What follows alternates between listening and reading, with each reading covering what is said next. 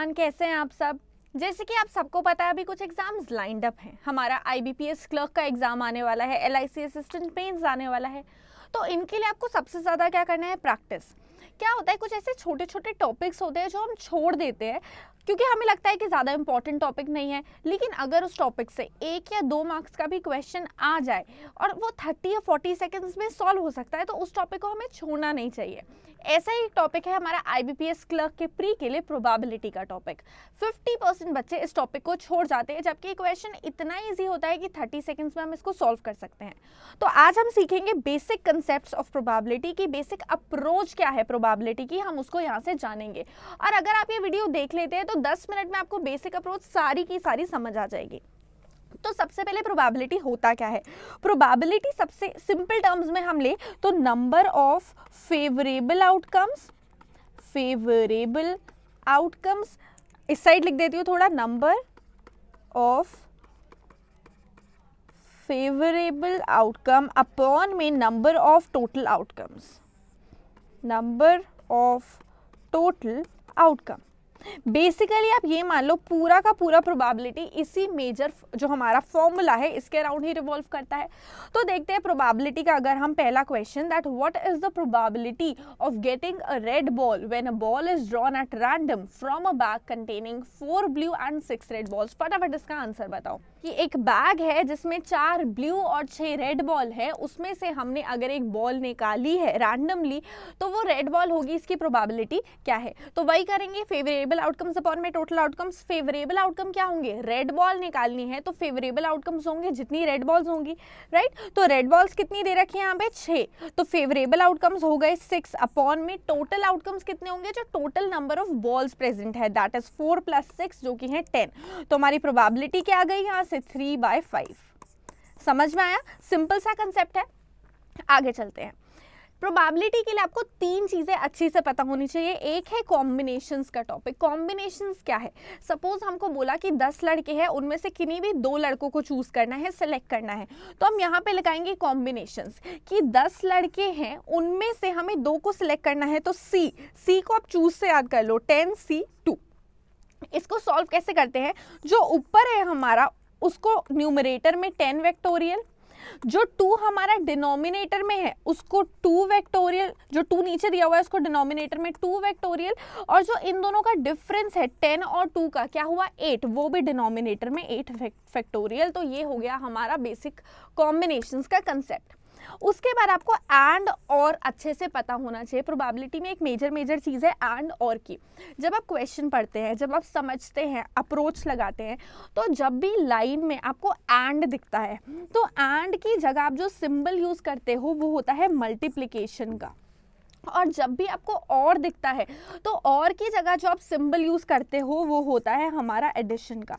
आप ये मान लो प्रोबेबिलिटी का रामबाण ये है, अगर आप ये समझ गए तो आप प्रोबेबिलिटी के क्वेश्चंस इजीली सॉल्व कर पाओगे कि हमेशा एंड की जगह हमको यूज़ करना है मल्टीप्लीकेशन एंड और की जगह जब भी और है तो उसकी जगह हम यूज़ करेंगे यहाँ पे एडिशन ठीक है? उसके बाद आपको एक कंसेप्ट आना चाहिए एटलीस्ट एटमोस्ट का कंसेप्ट एज इन हमें बोला है कि दस लड़के हैं, उसमें से हमको एटलीस्ट टू सेलेक्ट करने हैं. एटलीस्ट टू मीन्स टू और मोर या तो दो, या उससे ज़्यादा. तो एटलीस्ट का मतलब है उतने या उससे ज़्यादा. और अगर हमें बोल दिया एटमोस्ट टू लड़के तो टू या उससे कम, यानी कि लेस देन टू और टू तो आपको ये तीन चीज़ें अच्छे से पता होनी चाहिए. आगे क्वेश्चन देखते हैं. A question had that what is the probability of selecting one black and one red ball when two balls are drawn randomly from a bag containing four black and six red balls? फटाफट इसका answer बताओ हमें बोला है कि probability एक black और एक रेड निकालने की जब दो बॉल्स निकाली गई हैं एक बैग से। तो इसमें आपको सबसे पहले क्या देखना है कि टोटल बॉल्स कितनी है? चार ब्लैक और छह रेड यानी कि दस बॉल्स टोटल है और दस में से हमें निकालनी कितनी है? दो। तो टोटल आउटकम्स हो जाएँगे टेन सी टू ठीक है? फेवरेबल आउटकम्स क्या है? One black and one red अब यहाँ पे ध्यान दो one black total black balls हैं चार। चार में से हमें चाहिए सिर्फ़ एक। तो फोर में से एक ले ली फोर सी वन उसके बाद आपको एंड और का कंसेप्ट बताया है। हमें ब्लैक के बाद बताया है एंड एंड की जगह क्या लगा देंगे? मल्टीप्लीकेशन है ना?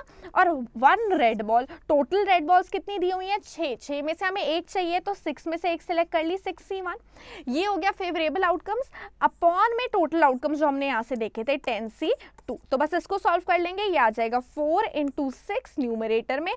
अपॉन में हमारा क्या आ जाएगा टेन इंटू नाइन और ये एक टू ऊपर चला जाएगा राइट right? तो ये आ गया फाइव ये आ जाएगा two by three that is हमारा आंसर आ जाएगा एट बाई फिफ्टीन ठीक है नेक्स्ट क्वेश्चन देखते हैं A bag contains four red, five blue and three green balls. If three balls are selected at random, what is the probability that either all are red or all are green? फटाफट से इसका answer बता दो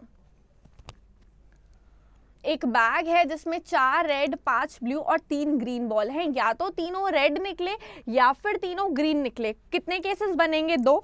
या तो हमने तीनों red निकाली और हमने तीनों ग्रीन निकाली। ये दो केसेस बनेंगे राइट तो फेवरेबल आउटकम्स क्या हो जाएँगे? तीन रेड निकालना। चार रेड बॉल्स हैं, उसमें से हमने तीन निकाली तो फोर सी थ्री बीच में आ गया और। और की जगह हम क्या लगाते हैं? आपको बताया भी था एडिशन लगाते हैं। तो एडिशन लगा दिया।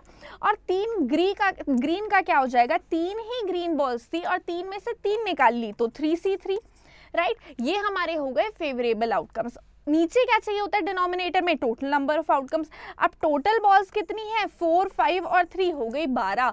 बारह में से हमने निकाली है तीन तो ट्वेल्व सी थ्री ये हो जाएगा हमारा इसका आंसर दैट इज़ ऊपर आ जाएगा हमारा फोर प्लस वन डिनोमिनेटर में आ जाएगा twelve into eleven into ten और ये आ जाएगा सिक्स यहाँ पर. दैट इज़ न्यूमरेटर में हो गया हमारा फाइव इंटू सिक्स ये भी टू पे कट गया, ये भी टू पे कट गया, हमारा आंसर आ गया वन अपॉन में फोर्टी फोर समझ में आया? आगे देखते हैं. हमें बोला है a bag contains three blue and seven red balls एक बैग में तीन ब्लू और सात रेड बॉल है. अगर हमने तीन बॉल निकाली if three balls are drawn at random find the probability of picking at most two red balls अब यहाँ पर देखो at most two red balls का मतलब क्या होता है? या तो दो, या फिर दो से कम, है ना? अब पूरे केसेस देखें तो हमने तीन बॉल्स निकाली है इन टोटल तो तीन बॉल्स में या तो ज़ीरो रेड निकलेंगी, या एक रेड निकलेगी, या दो रेड निकलेगी, या फिर तीनों रेड निकलेगी. अब अगर हम ज़ीरो रेड निकाल रहे हैं ना तो बाकी जो तीन बॉल हैं वो ब्लू होंगी। तो यहाँ पे ज़ीरो रेड के साथ जो बाकी तीन हैं वो ब्लू होंगी राइट right? अगर हम एक रेड निकाल रहे हैं ना तो जो बाकी दो है वो ब्लू होंगी। तो एक रेड के साथ एंड जो बाकी दो है वो हमारी ब्लू जा रही हैं। उसके बाद हम दो रेड निकाल रहे हैं तो यहाँ पे लिख देते हैं, जो एक बॉल बची वो हमारी ब्लू होगी। तो ये एक ब्लू हो जाएगी one blue and two red right? हमसे पूछा क्या है? तीन रेड है तो तीनों रेड होगी ब्लू नहीं होगी।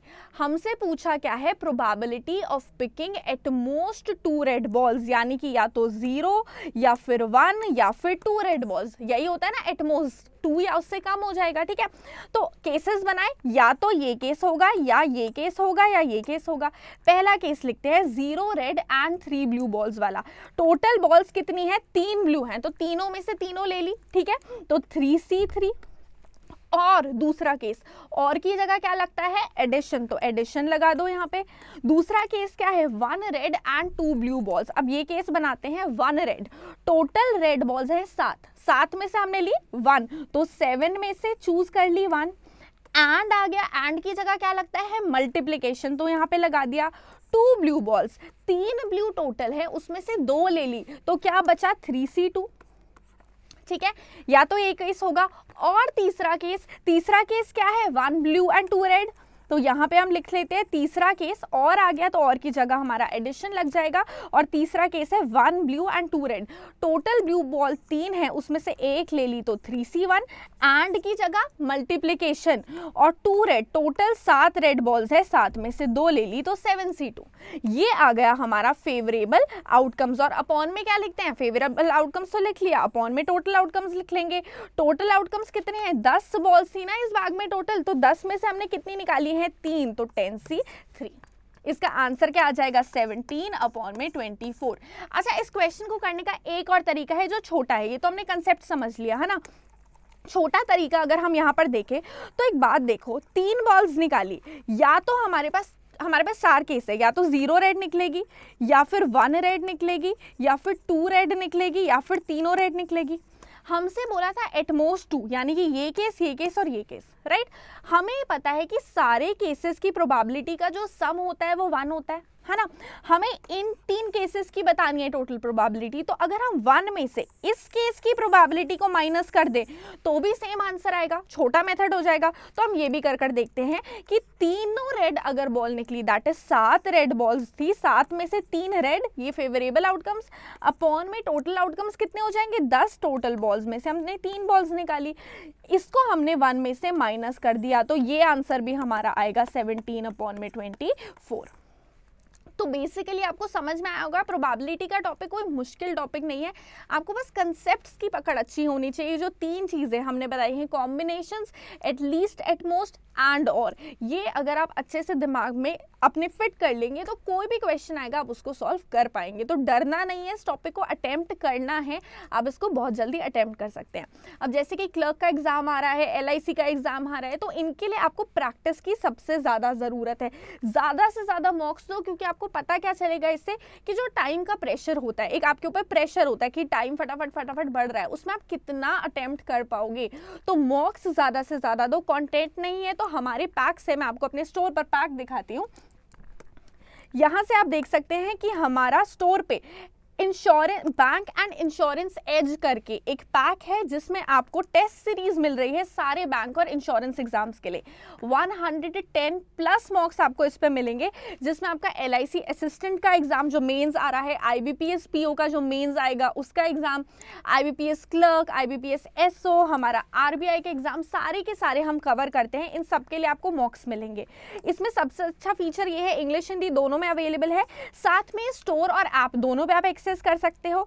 इसके साथ आपको बाई मंथली और वीकली आपकी करंट अफेयर्स मैगजीन मिलती है। जुलाई 2019 से फरवरी 2020 तक सारे करंट अफेयर्स कवर कराए जाएँगे। डिटेल्ड सोल्यूशन आपको साथ में मिलते हैं और बेस्ट पार्ट इन मॉक्स का होता है कि आपको अपना एनालिसिस मिलता है। आप कौन से सेक्शन में वीक हो, कौन से में स्ट्रांग हो, किसमें ज़्यादा मेहनत करनी चाहिए। प्लस आप कंपेयर कर सकते हो अपनी रैंक ऑल इंडिया जो बच्चे पेपर दे रहे हैं कि आप कहाँ पे स्टैंड करते हो। तो ये आपको बहुत बेनिफिशियल है। आप ज़्यादा से ज़्यादा ज़्यादा मॉक्स दो ज़्यादा से ज़्यादा प्रैक्टिस करो, क्योंकि प्रैक्टिस में एक समान परफेक्ट तो तैयारी अच्छी कीजिए all the very best for your exam